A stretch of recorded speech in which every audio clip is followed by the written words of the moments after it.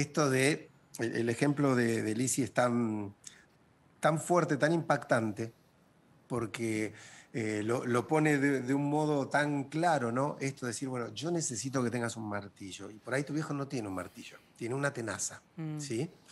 Eh, y entonces es, es- esto difícil de construir, que uno construye con un otro, que, como vos decías, Andy, hay cosas que tiene y hay cosas que no.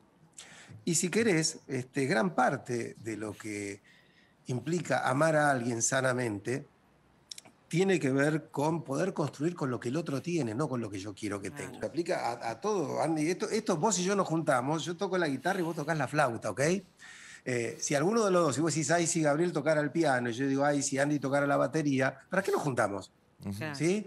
O sea, el tema es qué podemos hacer vos y yo. O sea, vos, tocas ese instrumento, yo toco el otro. ¿Qué podemos hacer juntos que sea bello, que sea lindo? Y no quedarnos mirando lo que no podemos hacer. En este sentido, mira, uno con los padres, Andy, eh, digamos, establezcamos algo. Los padres perfectos no existen, ¿ok? Dejemos de lado eh, padres brutalmente imperfectos, qué sé yo, padres violentos, abusadores, abandónicos. Hablemos de los papás más o menos La normales. media de los padres. Claro. Exactamente. Eh, en la vida vos tenés la elección de amar a tus viejos por los siete que hicieron o por los tres que no pudieron hacer odiarlos. Hmm. ¿Sí? Es una elección. ¿Qué te captura más? ¿Qué rescatás más? ¿Vos los vas a juzgar por eso que pudieron darte o te vas a enojar por lo que no pudieron? Entonces, ese es un primer punto que se aplica, como vos decís, a- estamos hablando de los padres, pero lo aplicalo a la amistad, a la pareja, a lo que quieras. Y a veces eh, las diferencias eh, separan de un modo tan complejo y tan doloroso, Andy. ¿Y sabes por qué pasa eso? Porque destruir un vínculo de, de amor es muy fácil. Destruir un vínculo de odio es muy difícil. Entonces, digo, cuando vos con alguien te querés, cualquier cosita te lo puede arruinar. Cuando con alguien estás enojado es muy difícil moverse de ahí. Pero bueno, vos sabés que, digo, basta con que, a veces con que tu pareja haga una cosa que te molesta para que el vínculo ya tiemble. Mm. Y en cambio, cuando con alguien te enojaste, por ahí hace 10.000 cosas para recuperar el vínculo Y y, no. vos no le das la, la oportunidad, ¿no? Pero acá se da algo interesante, que es que había dos personas con deseo de reconstruir y una imposibilidad de poner palabras que eh, pusieran en juego ese deseo. ¿Por qué? Porque cuando vos habilitaste ese diálogo entre ellos dos, eh, la disculpa de un lado, la aceptación de la disculpa y las ganas de tengo verte. Mira, yo una vez este, atendí a un señor grande de la colectividad, un señor muy, muy, muy viejito, que este, vino porque se le había muerto el último amigo que le quedaba, de estos que se juntaban a tomar algo, viste, en el bar y que desde chicos. Y él le había quedado solo, su mujer había muerto y averiguando me entero que tiene un hijo al que no ve hace 10 años. Ah. En su, en su momento le digo, ¿por qué? Y me dice, bueno, porque él se, se casó, mi hijo, con una chica que no es de la colectividad, y en ese momento eh, no lo supimos aceptar. Me dijo, es una chica divina, lo quiere un montón, este, lo apoyó mucho cuando, cuando mi mujer estuvo muy enferma. O sea, todo lo que sí O sea, todo bien, había pero costado. se puso la, la- la premisa esa de que como no era Claro, le había, no- le había costado y me dice, y ahora, me dice que se murió mi último amigo, que me veo tan solo. Me dijo que sé que tengo una nieta a la que este, he espiado alguna vez saliendo del colegio. Dice, me he parado en la esquina para mirarla, no, porque no. nunca la pude conocer. Me dice, en medio de todo esto me doy cuenta cuánto me equivoqué. Me dice, qué equivocado estaba. Y yo le dije, pero ¿y por qué no lo llama?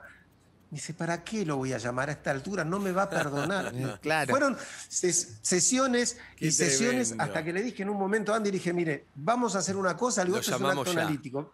Ven, no, claro, le dije, venga para acá, le digo, deme el número de su hijo, tome. Hiciste de perro ¿No? de la calle. Ay, nos robó la sección. Exactamente. Estamos cobrando derechos. Viste, vos, vos estabas haciendo de mí, yo te echaría a vos Exacto, también. sí, hiciste Pero- vaciando pero la le dije, mochila. ah, ¿Y qué dijo? ¿Entró en pánico? Bueno, No, no, no, no, no. Este, entonces me- se quedó el silencio, ¿viste? El tipo cuando dijo hola, este, y se dio una cosa rara, así, hablar un minuto, y después le dije, bueno, cuénteme. Y me dice, no, me dice, se quedó como en silencio y me dijo, hola, viejo. Y él me dice, después de 10 años me reconoció. Y yo le dije, "Eh, es la voz de un padre. La voz de un padre no se olvida. Digo, entonces me dijo, ¿y en qué quedamos? Me dice, no, me dice, me dijo que, que nos viéramos en un bar para charlar. Bueno, se va, viste, movilizado. Y fíjate esto, me llama al otro día y me dice, Gabriel, me dijo, le quiero contar, no me voy a ver en el bar con mi hijo. Le digo, ¿por qué? ¿Qué pasó ahora? Me dice, porque la mujer le dijo, ¿cómo lo vas a ver a tu viejo en un bar? Tráelo a cenar a casa para que conozca a la nena. Ah. Y él Me estaba gustó. llorando, ¿viste? Y me decía, yo no puedo creer. Me dice, pero en definitiva no me voy a morir solo, me parece. Oh, Mira qué potente, Andy. qué lindo. Qué lindo. Qué, qué potente ¿Y que fue? es cuando uno va, va en busca de cómo quiere vivir. ¿Conoció a la nieta? uno- Sí, sí, no, no, y aparte, viste, tenía una cosa después, una locura, porque me decía, es igual a mi mujer, es la cara de mi mujer. Ay, y, y además, él siempre había reconocido que su mujer era una divina. Listo, y él me dijo, por cuántas tonterías yo me perdí tantos años de amor. No, y, adem- Sí. y Gaby, perdón, ¿y cómo, cómo hacemos foco en las cosas que, que- que generaron el, progre- el problema, que en general siempre ya se solucionaron y seguimos creyendo que estamos enojados con el sentimiento? O sea, Pero pasa y pasa mucho y sobre todo pasa el tiempo y pasa la vida, Andy. Ese es el tema. Digo, Mm. y, y- y en algún momento, digo, e- esta vez estuvo esta maravillosa oportunidad. Digo, pero en algún momento la oportunidad no llega si vos dejas pasar el tiempo. ¿eh? Entonces, yo creo que, mira, a ver, en un mundo tan difícil, donde es tan complejo construir relaciones de amor, de afecto, donde de verdad estamos todos tan solos, tan pavorosamente solos, eh, digamos, y solo hay un pequeño grupo de personas que construyen un cielo personal, unos amigos, la pareja, tus viejos. Digo, me parece que en ese mundo agrandar las ofensas es una estupidez, porque cuando vos agrandaste una ofensa, hay una persona que sacaste de tu cielo y la pusiste en el mundo del infierno exterior. Entonces yo creo que an- antes de expulsar a alguien al, infierno de los desconocidos, está bueno pelearlas, ¿sí? pelearla, sentarte con un amigo y decir, mira, me cayó mal, Andy, me, cayó mal, podemos hablarlo mirándonos los ojos porque yo te quiero. ¿Hay algo que aclarar o listo, vamos a pasar a ser desconocidos a partir de le cuesta mucho, pero le cuesta porque tiene miedo, porque tiene miedo de que el otro no reaccione como él espera, tiene miedo de mostrar debilidad, tiene miedo, se, se ha- se ha af- aferrado tanto a, a su enojo que cuesta soltarlo. A ver, ¿vos querés tener razón? O vos querés ser feliz. La frase de Rolón. sí, ya sí, sí. está. Hay que recordarlo. ¿No? Digo, es así, o sea, ¿sabes qué? Bueno, eh, a su manera me... Hay, hay muchos modos de pedir disculpas. A veces alguien puede decir directamente, tiene la capacidad de decir, mira, me equivoqué en esto, te pido disculpas. A veces alguien pide disculpas con un gesto. A veces, este, si vos le das la oportunidad, te va a pedir disculpas, pero no se anima a pedirlas por sí mismo. Y o yo porque creo tiene que. vergüenza, Andy.